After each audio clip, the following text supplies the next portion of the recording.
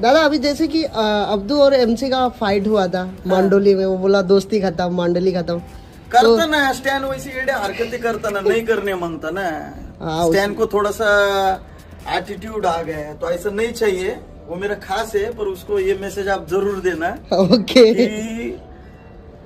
थोड़ा सा लोगों से प्यार करना भी ज़रूरी।